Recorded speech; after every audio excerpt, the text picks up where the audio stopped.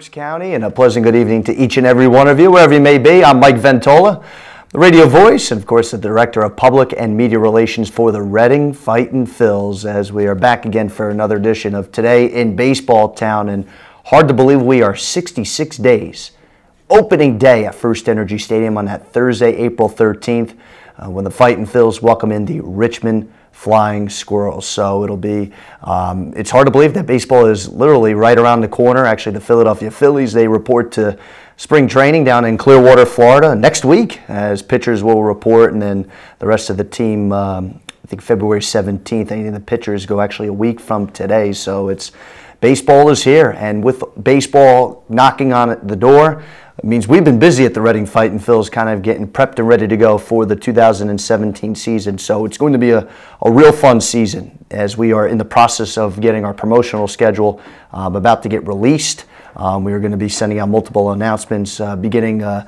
tomorrow, Tuesday the 7th. So uh, keep out, keep uh, attentive to fightins.com and of course on social media on Facebook at Reading Fightin' Phils and of course at Twitter at Reading Fightins as well too. So uh, get a chance as well to start buying your tickets and getting ready to get some individual games, some groups out to First Energy Stadium as well. So uh, and for tickets, as always, don't forget you can call 610-370-BALL or you can go online to fightins.com. So, but in case anybody wants to call in tonight, you can call 610-378 0426. So uh, if you do want to give a call into the show here tonight. So, but what's been happening uh, at the Fightin' Phils? So, um, since la- since we've last chatted, you and I, um, the Fighting Phils had their big caravan, their um, a chance where members of the Philadelphia Phillies came up and got a chance to um, make a stop to uh, Baseball Town, and we got a chance to see Phillies manager Pete Mackanin, Aaron Nola, Mike Halfranco, Roman Quinn,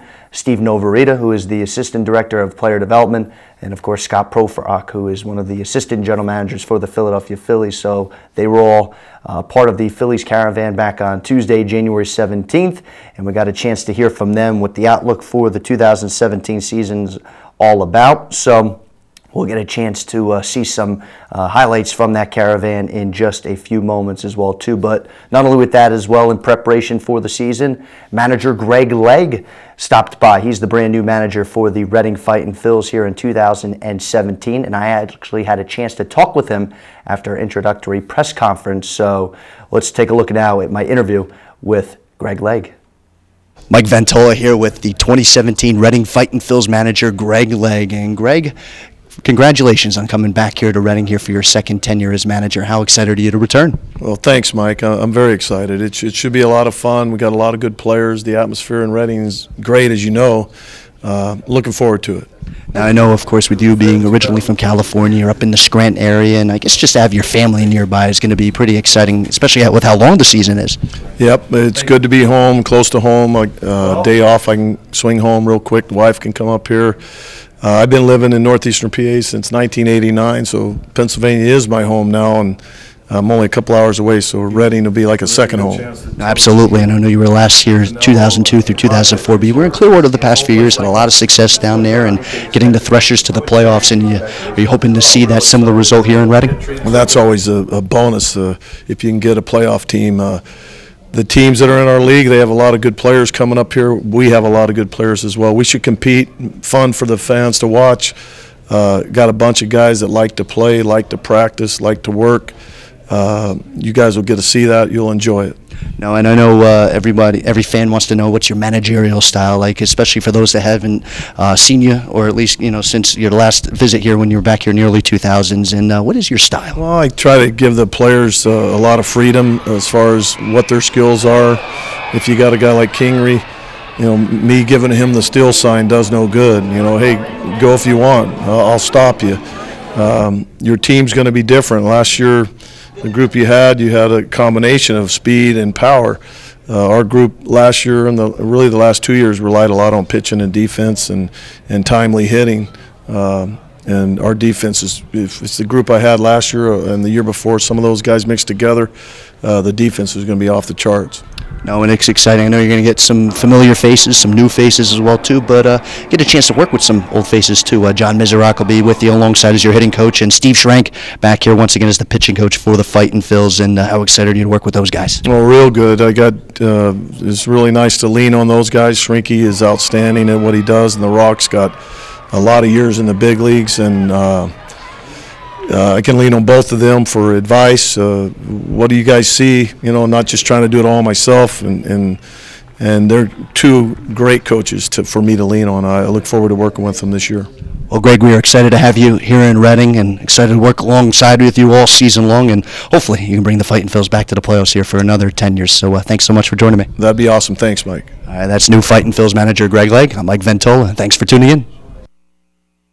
Was great getting a chance to talk to Greg, and I know, as he stated in that interview, he's real excited to be back here. He has 202 career wins as manager here in Baseball Town. He last coached in Reading from 2002 through 2004, so uh, he had a chance in his final years as a manager uh, for Reading back in 2004 to manage the likes of Ryan Howard. Ryan Howard, who had over 30 home runs in that season, so had a chance to move on up, and of course had a had quite a career with the Philadelphia Phillies. So hopefully getting a chance to kind of continue what manager Dusty Wathen did over the past five seasons. So uh, and plus, if Greg is fortunate enough to be here for a few more years, he could put a challenge to Dusty, who has 370 career wins, the most as a manager here in baseball town. So, but with that caravan, it was a real exciting day because not only before that with that introductory press conference to introduce Greg, but got a chance as well throughout the caravan, not only to have the Phillies portion as portion of it, but also to our baseball town charities as well too. So,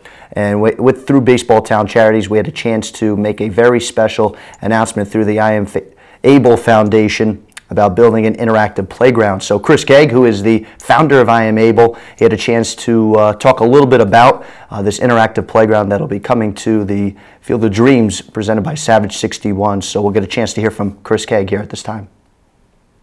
Baseball Town Charities has been helping to revive baseball for Reading's inner city kids since 2002.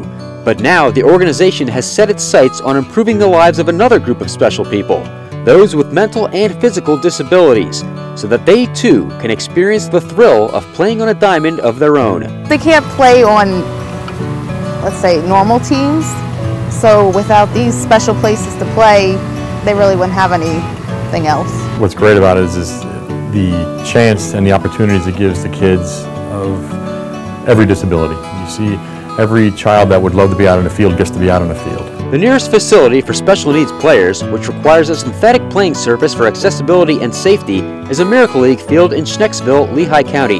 A long ride in a car for players like Simon Frisch. It's about an hour and 15, hour 20 minutes for us, and by the time we get there, he's worn out just from the drive.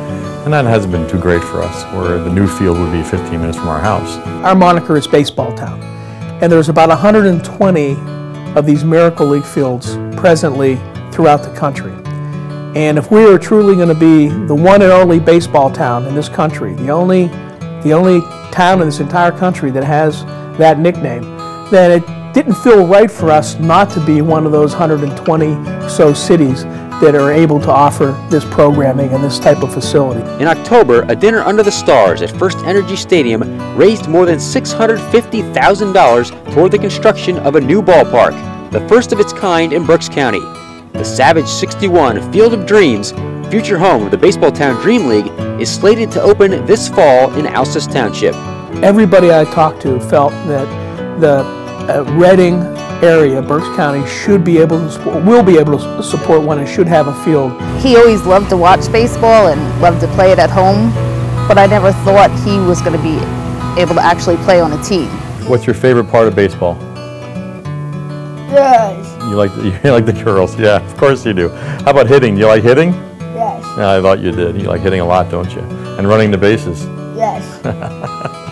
Baseball Town at Charities, dedicated to building a brighter future for America's favorite pastime by ensuring that all kids have the opportunity to fulfill their dreams. Talking to some of the parents said their, their kids, and it just wasn't just one parent that said this, their children get up early in the morning and they put their baseball uniform on and it might be six, eight hours until they leave, but they live every week or every three or four days during the season for that day when they're playing baseball. All he does is talk about baseball. So it means so much to me that they're doing this. It's just a, it's a life-changing event, not only for them, but for the whole family. And it really, truly is a miracle. To be stuck in the stands all the time, that's, that's fun, but it's not that much fun if you've never had the chance. And to live your dreams, that's, that's a lot better. This one, this one is for baseball.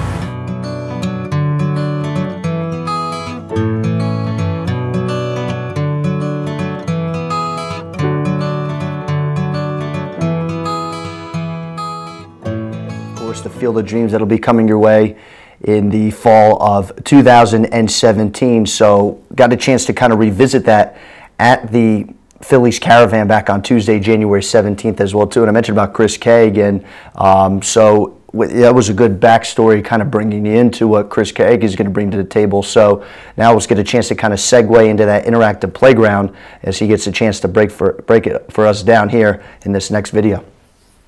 My name is Chris Kaag. I am the uh, the founder and the uh, the executive director for the I Am Able Foundation. Um, the I Am Able Foundation I started back in 2007. Uh, I am a U.S. Marine, and you know just know the uh, the benefits of being physically active. Um, so I wanted to try to bring that to uh, to, to people out there who have challenges. Um, obviously, for me, I, I developed the challenge uh, two weeks after my 21st birthday. So I wanted to you know try to prove to others um, that you can still get out and you can be as active and as uh, you know have a fulfilling life as possible. So I wanted to try to get uh, that that word out to everybody that we want to try to change perceptions uh, on what people are able to accomplish, regardless if you see them walking with canes in a chair, something. We're just going to give them the opportunity to get out. So the I Am Able Foundation was created um, to provide the opportunities for these people to get these uh, opportunities to get out and be active, because unfortunately, being disabled is not cheap. Um, so my foundation, we raise all the monies uh, to provide adaptive equipment grants. Um, so uh, a, a, grant for a bike goes anywhere from $2,000 all the way up to $6,000. Um, so it gives us the opportunity now to see the smile on people's faces when we can show them that they can get out and do something. I Am Able's latest project involves working hand in hand with Baseball Town Charities to further enhance the new Savage 61 Field of Dreams complex by building a new adaptive playground, a place where all children, including those with physical or cognitive challenges, can play together. It's pretty simple. Uh, you just want to try to create as many opportunities um, to get up, you know, on top of uh, playground equipment. If you see a lot of uh, a lot of playground equipment, you know, it's got sliding boards and things that are up. Well, you know, unfortunately for people in chairs or with crutches or canes, uh, they're not able to do that. So, you know, we want to try to provide an opportunity for, for them to be able to have equipment that they could play just with like everybody else, and everybody has has the same opportunity. So it's not going to be anything different. It's not going to be a separate playground uh, for the kids that have disabilities. The cognitive issues are probably one of the bigger disabilities out there. So you know, kids with autism and things like that. So the the, the pieces that are out there are all you know um, some mental things. So you have colors, you have all kinds of different things that they could be interacting with uh, instead of obviously getting up and, and, and doing the playground stuff. All the surfaces are uh, like a rubber uh, tile you know, so it provides, first of all, you know, it's easy to roll across it in a wheelchair, uh, but then at the same time, for anybody who has canes, crutches, it's a lot easier to walk across. And you know, if they fall, then it's you know, it's all you know, it's all soft. Again, we want to um, you know change perceptions. So I want kids. Doesn't matter what your abilities are. I want them all to play together. Um, so we designed this uh, adaptive playground um, to be able to provide the opportunities for all kids regardless of abilities, to all play at one time. I really think that that is the most incredible thing about the adaptive playgrounds is that kids don't realize anything. They just see equipment, they're going to play on it. They're not going to see disabled or able-bodied. They're just going to get out there and they're going to play. So, you know, like this this uh, playground at, uh, at the Opportunity House, you know, these ramps will allow somebody like myself in a wheelchair to get up to the top, you know, to play with all the things up top. But these kids, they just see a ramp, they're just going to run all over them. So it's it's it's pretty awesome to be able to put everybody on the same playing field. That's been something that's been very very important for me, you know, just to because uh, kids you know, to be able to, to, to see their peers in the same light as they see their able-bodied friends.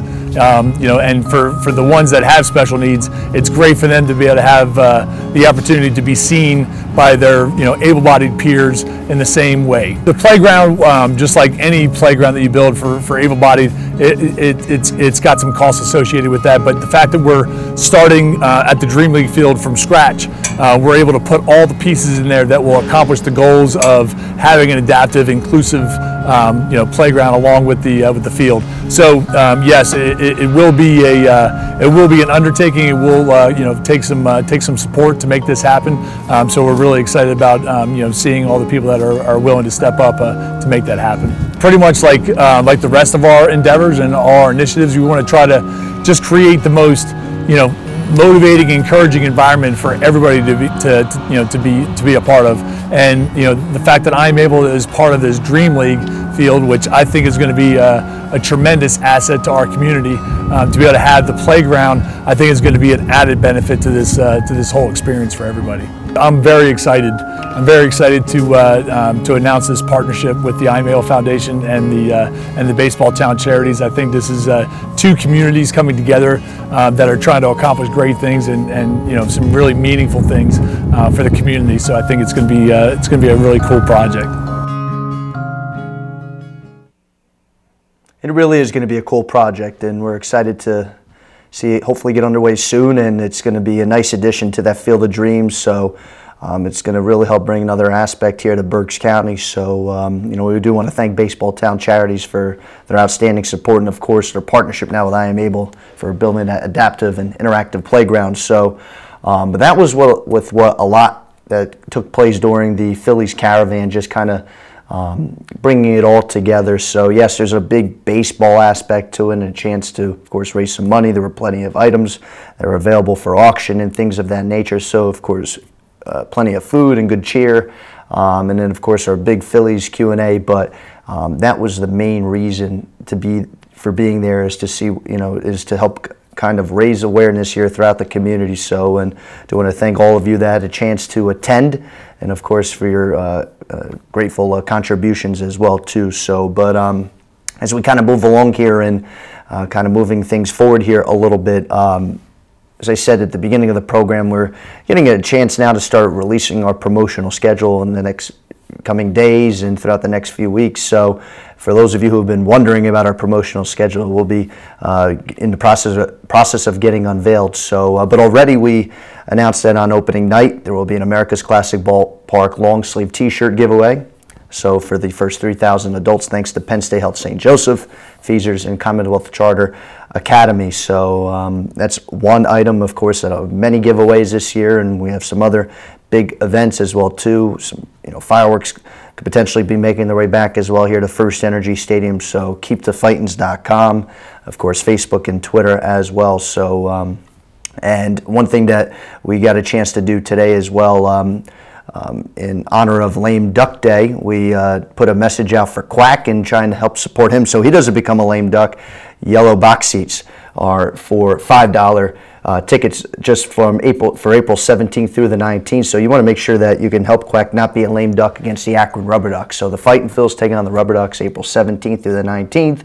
So you purchase tickets and um, you purchase the yellow box seats in advance and they'll be $5. So uh, and um, of course, those days are unused ticket days uh, from any past season of Reading professional baseball, and they're uh, going to be uh, redeemable for uh, general admission type tickets. So for for those three games. So uh, for those of you who have tickets from years past.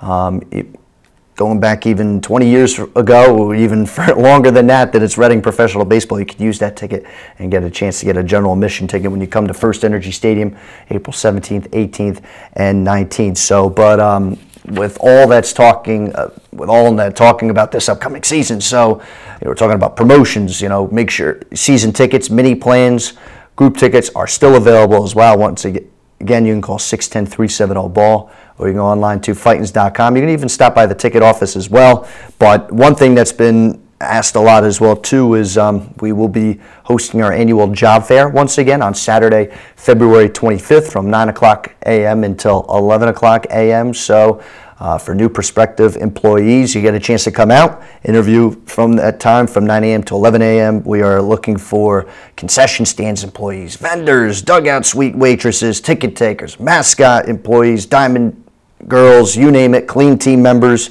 and of course any security uh, team members as well. So, um, but keep in mind that could, could be expected to work weeknights, weekends from early April, to, from April to early September. So, and of course minimum age and compensation vary by position. So, but not only with that job fair as we'll get a chance to uh, have a merchandise tent sale as well too so that'll be from 9 a.m until 12 p.m so there'll be discounted merchandise and brand new 2017 team apparel will be available for sale as well too. And all the merchandise can be uh, is up to from at least 10% off to some items going up to half off at 50% off. So and season ticket holders and VIP club members will receive at least 20% off on all items. And if you come on to Saturday February 25th to that merchandise tent sale and you spend $50 or more, well, you can get a free Mike Schmidt bobblehead. So why not? A Hall of Famer and uh, one of the all-time greats, probably the greatest third baseman ever play the game in some arguments.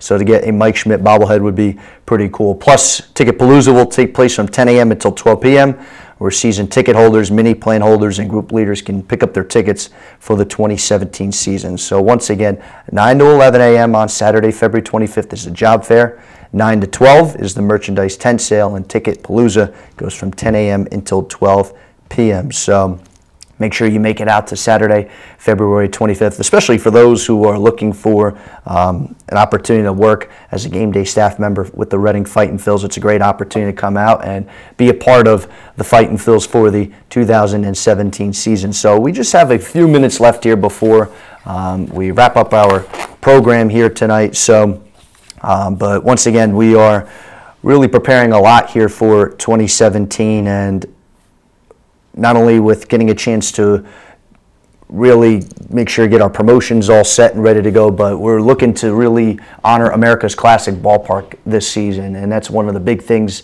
uh, that's going to be a part of our theme this se- this season. Last year was about being the 50th season affiliated with the Philadelphia Phillies. This year we're going to honor all that has happened in America's classic ballpark, whether it was on the field baseball wise, off the field, such as various stadium events.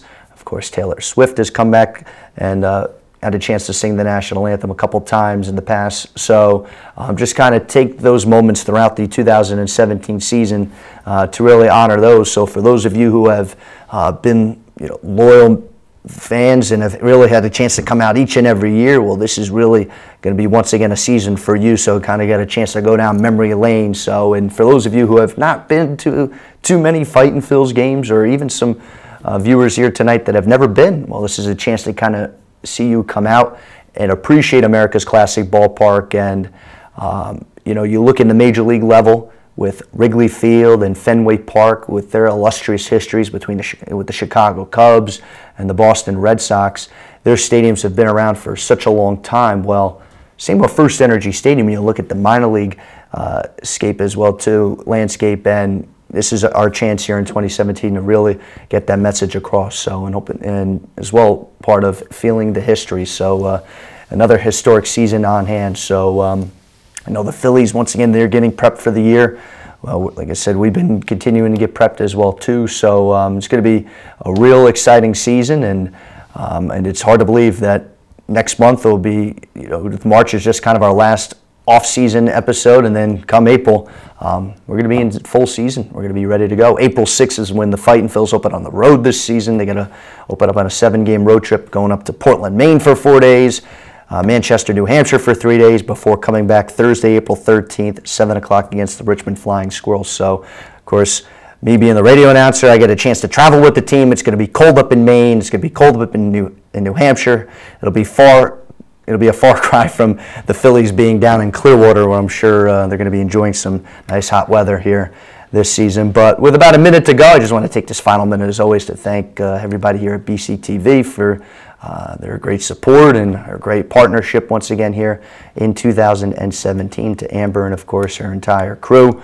Uh, you guys certainly do a great job. And for you, the fans, um, as always, uh, stay interactive with us uh, once again on Twitter at Reading Fightins, on Facebook at Reading Fightin' Phils. And of course, go to fightins.com for all your information concerning the Fightin' Phils. Well, until next time, this is Mike Ventola, your PR director and radio voice, saying so long and arrivederci.